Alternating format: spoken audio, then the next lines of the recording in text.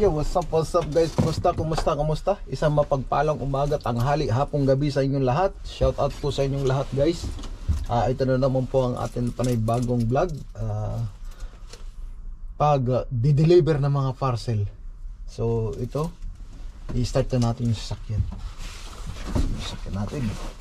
Susi, susi. Ay, Diyos ko paano?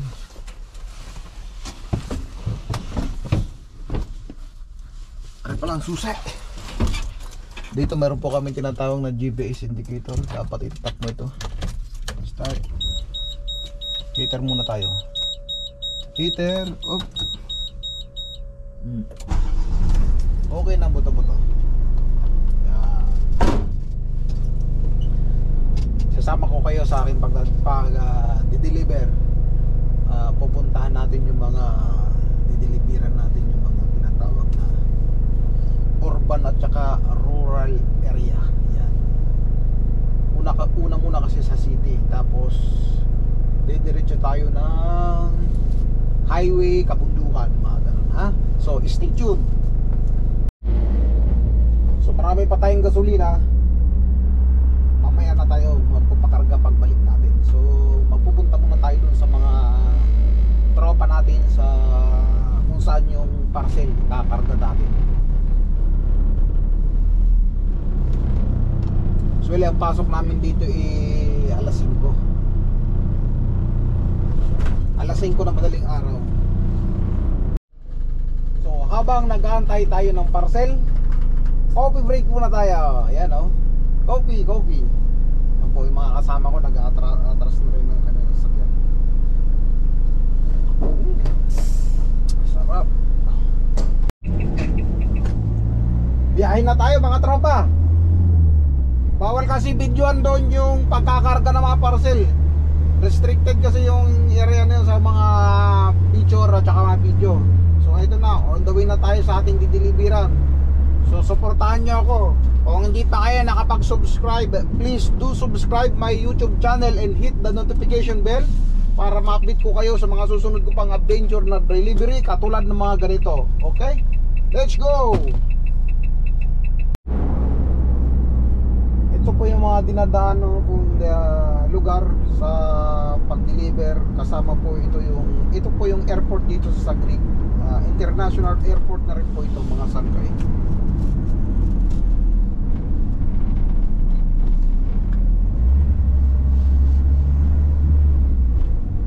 international airport tapos may mga siyempre simple lang ang pagdadrive dito runabout o katulad yan parang Qatar lang din wala seatbelt seatbelt dito pero pag nasa expressway na tayo for safety reason magsi-seatbelt tayo.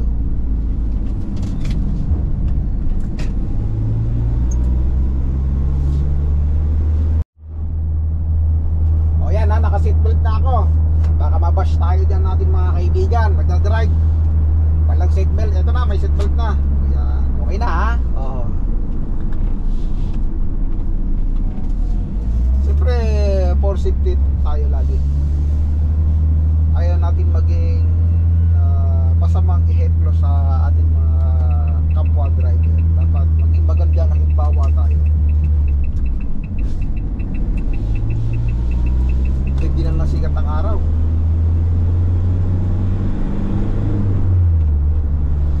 Talagang buhay driver, dapat tiyaga lang. Pag may tiyaga, may dinaga! Alright! Rock and roll and roll! Woo! For Europe, pamor! Ayan, buhay dito, man. Tiyaga lang.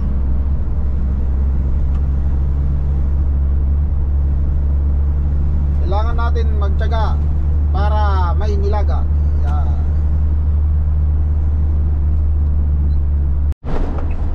Grabe.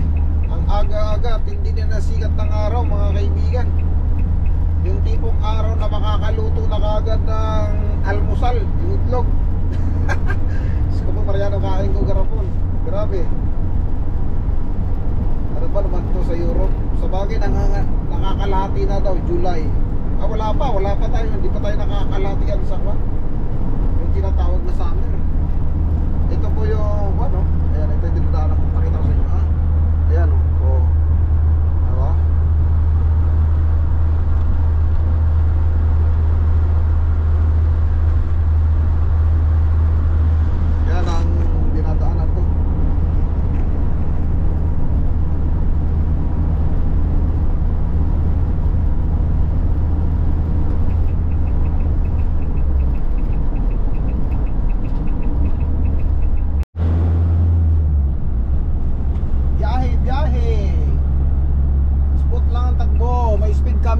mga higa.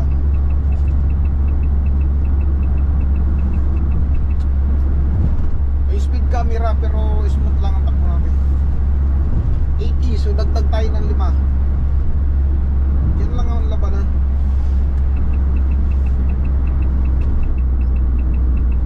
dagdag ng 5 so 85 walang problema.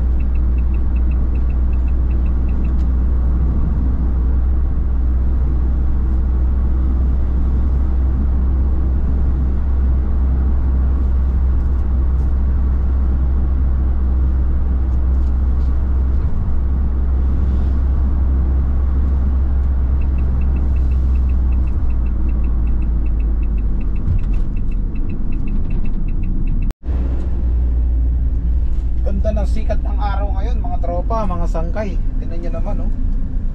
Ang ganda ng Ang ganda ng kapaligiran, paliwalas. Di uulan ngayon. Oo. Yun ang kagandahan dito sa Croatia. Talaga naman.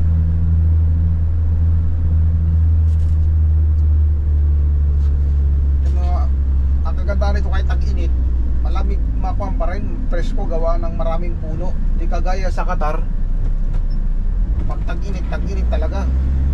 Wala wala ganong puno ron. Dito maraming puno. Eh mga halaman na yan pag pag taglamig na malalagas lahat ng dahon. Yung sinasabi ng taglagas o dito priority dito yung pedestrian. Pag may natawid obligado hihinto ka.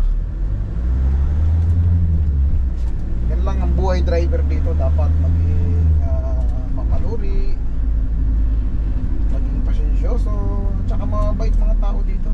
Yan stop na naman tayo siyempre.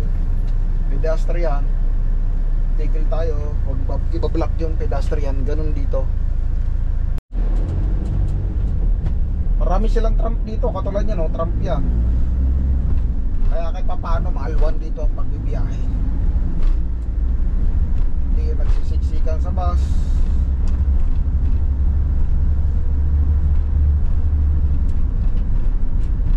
Maganda talaga ang Croatia, sa totoo lang. Maganda siya kaysa sa... Sa akin lang ah. Parang mas maigi yung Croatia kaysa sa Qatar.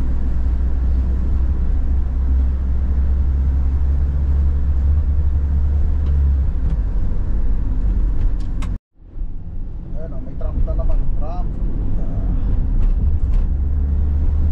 Ayan ang Trump. Diba? Alis yan, overtake tayo dyan. O, katulad yan. Kakanan tayo.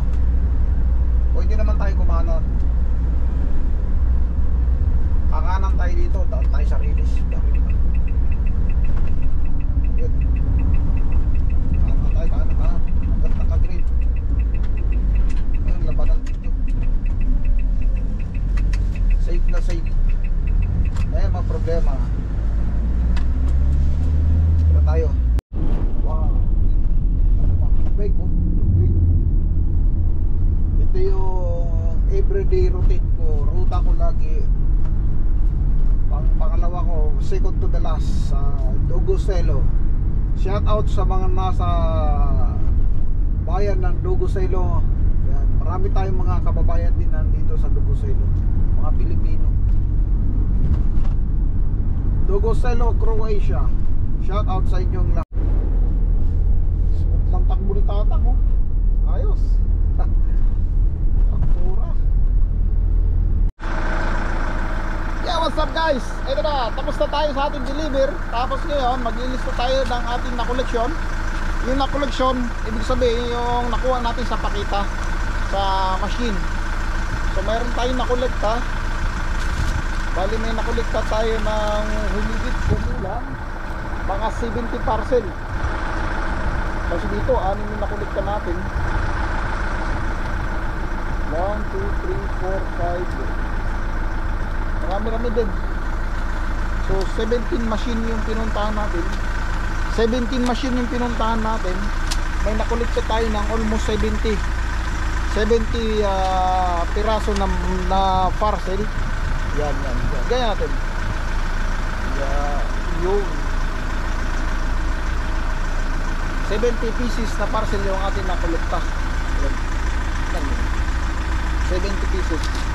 So, labing pito itong machine natin napuntahan. Ganun lang, kasimple ang trabaho. Pero ito, yung mga, meron akong mga parcel dito. Ah, hindi na tinanggap ng kwan.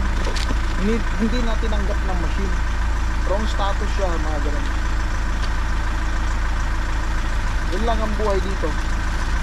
As a delivery driver, dapat maging masipag, hindi mainitin ang ulo, hindi mainitin dapat ang ulo mo sa kalsada, pabayaan mo lang overtikan ka o mag-overtake ka ng smooth lang.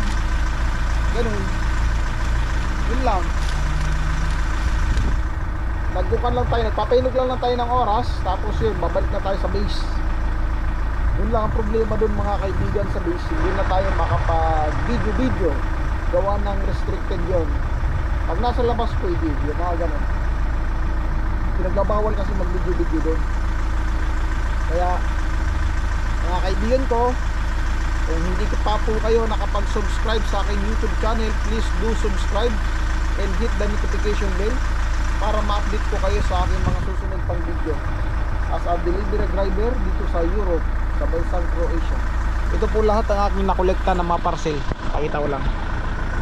Yan po. Ah, yan, ang dami. Yan pa. Yun, oh, yan. Puno yan. Dami yan, mga parcel yan. Hindi ko na linabas kasi wala namang karton na malalaki. Marami-rami, mga nasa 70 parcel tayo yung, nakakolekta natin. Yung pa, meron pang isa doon yung kwan. Yung nakabalot, di ko alam kung anong binilot yan. Kasi ito, mabigat ito. Hindi ko pwede halo dyan. Kasi madudurog lang. So hanggang dito na lang po muli ha. So paalam. At salamat po sa walang sawang ah, suporta sa aking YouTube channel. Ayan. God bless us all mga kaibigan. Bye-bye!